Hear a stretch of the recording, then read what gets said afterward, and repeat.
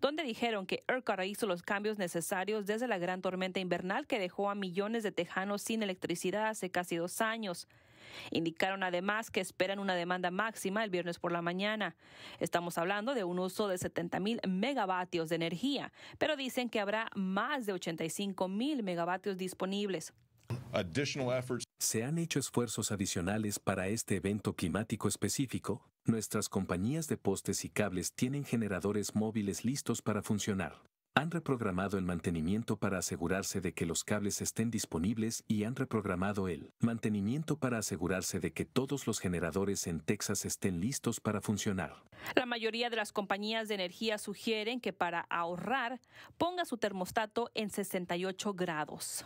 Uh, si recibimos precipitación o no, estamos preparándonos para temperaturas más frías de lo normal en todo el territorio y nuestros equipos ya están listos para responder ante cualquier situación.